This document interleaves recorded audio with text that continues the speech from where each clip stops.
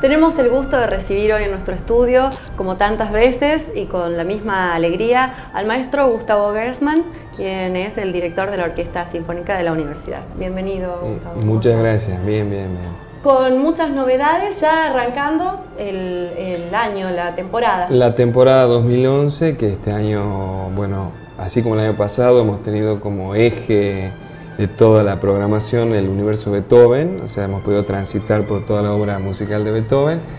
Este año eh, avanzamos un poquito más en la línea del tiempo y ya eh, eh, abarcamos todos los que son, o algunos de los más importantes compositores románticos, o sea, a mitad del siglo XIX, comienzo del siglo XX, ¿no? Bien. Así que en eso se va a centrar el diseño de la, de la programación de este año. Ah, qué interesante. El romanticismo es un movimiento, tiene mucho, mucho color, es, muy atractivo para el público. Lo que pasa es que el romanticismo es un concepto mucho más amplio de lo que por ahí uno lo conoce, mm, digamos, el- eh, esa cosa del romanticismo, así es muy romántico. No, bueno, el romanticismo es un concepto que tiene que ver con la mirada subjetiva, con qué es lo que siente cada persona, de, de- de lo que ve, de lo que hace, de lo que aprecia. Y en el caso de los compositores románticos, eh, también, o sea, ya no es la mirada esa formal clásica que tiene una estructura eh, conservadora, sino que empiezan a cambiar las estructuras, empieza a, mirar de otra manera el mundo, el mundo se empieza a mirar de otra manera. El compositor con el cual empezamos la temporada, que es Jan Sibelius, es un compositor finlandés que fue un héroe nacional en su momento en Finlandia y que su vida transcurrió entre 1865 y 1957, casi 100 años de vida.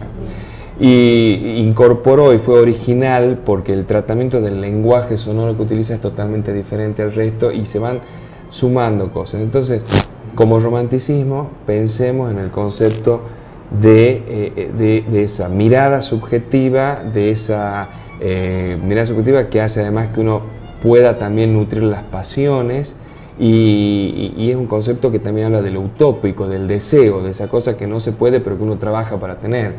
Entonces es un concepto mucho más amplio y que desde el punto de vista sonoro empieza a enriquecer muchísimo todo lo que es la trama, el tejido, la arquitectura de la composición eh, de cada obra. ¿no? También la- la- el sentido del nacionalismo, Por la supuesto, de las identidades de los exactamente. pueblos. Por eso es que los compositores, muchos de los que tocamos este año, son también llamados compositores nacionalistas, porque tenía que ver con toda esa efervescencia que había en el mundo por las independencias, por la autonomía de cada pueblo. Pensemos que en el caso este de Sibelius eh, era Finlandia, pero Finlandia había estado primero sometida por los suecos y después por los rusos.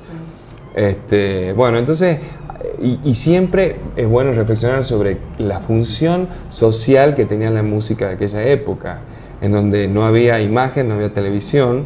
Este, entonces la música tenía que ver con toda esta, esta, esta efervescencia, este cambio que existía desde el punto de vista social en la gente. ¿no? Claro, Está bueno. Bueno, lo que pasa es por ahí uno piensa mucho en el piano. ¿Vas a tener Claro. muchos pianos este año? No, este año solamente tenemos dos conciertos para piano Ajá, románticos, uno del ajá. concierto número uno de Tchaikovsky, famosísimo además, el paradigma del concierto romántico, que va a tocar Fernando Pérez, un gran pianista que estuvo con nosotros el año pasado, y el concierto de Grieg, que va a hacerlo Oscar Buriek.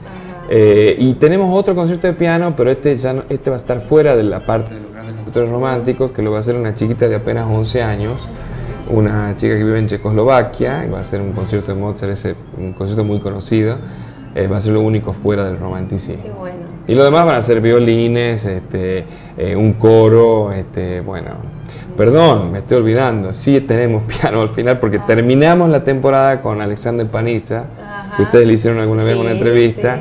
Este, con el concierto número 2 de Brahms, así Bien, que va a ser nutrido lindo, eso. Muy lindo. Eh, esto es con la juvenil. Esto es con la sinfónica, todo esto es con la orquesta sinfónica, Ajá. sí. Y la juvenil que Con la juvenil tiene? seguimos este año, el año pasado se cumplieron los 25 años, hemos tenido nuestro viaje a Italia este, y ha sido como la cresta de la ola. Y ahora este año tenemos, como son todas las orquestas juveniles del mundo, castillos de arena que uno arma y después tienen que volver a empezar a, a armar. Así que estamos en un año de transición, eh, con muchas audiciones internas que ya han pasado. Hoy seguimos con las externas. Tenemos más de 35 inscriptos para las audiciones de hoy.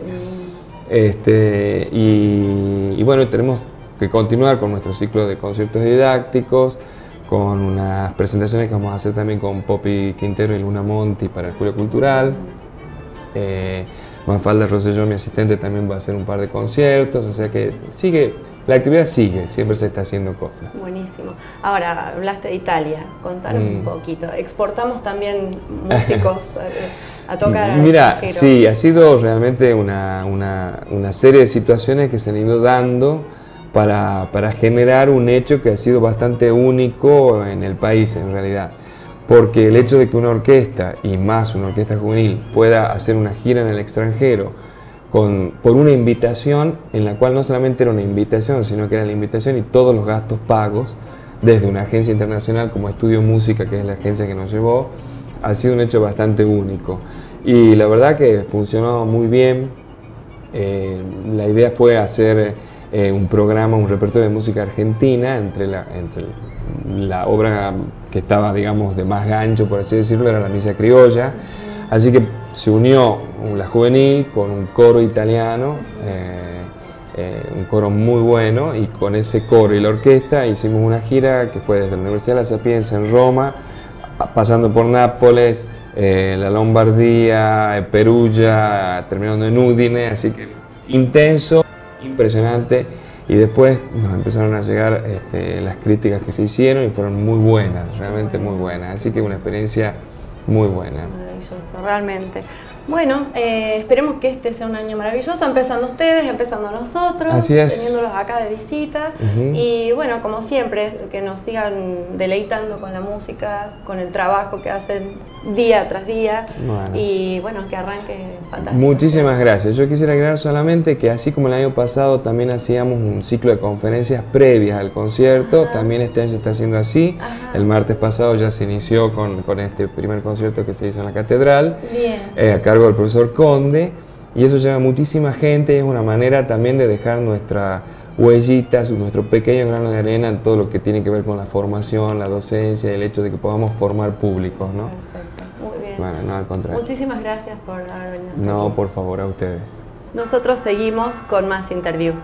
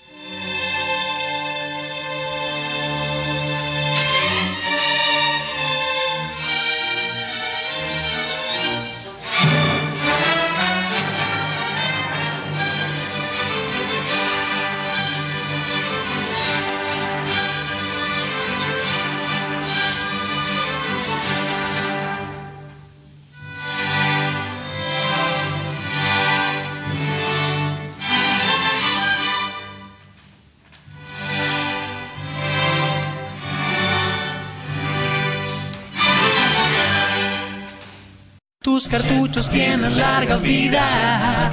Recarga con las tintas de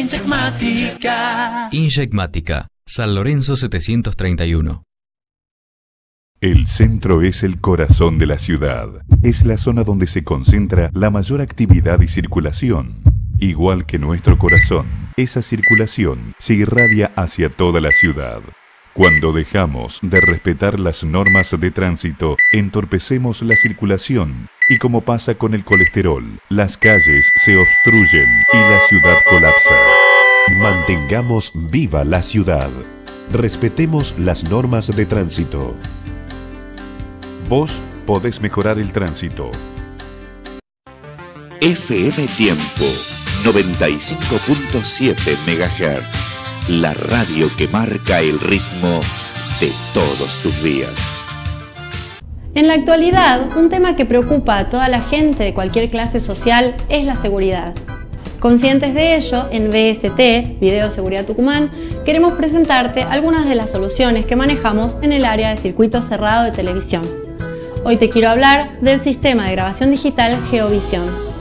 Una de nuestras principales ventajas es el sistema analítico de video en tiempo real. Este sistema nos permite tomar imágenes desde cualquier cámara analógica o IP y realizar, por ejemplo, las siguientes funciones. Conteo de personas. Como su nombre lo dice, esta función se emplea para contar personas u objetos que pasen por una zona determinada de la imagen. BST, Video Seguridad Tucumán. Teléfonos 0381 156 429 007 o 156 090 223.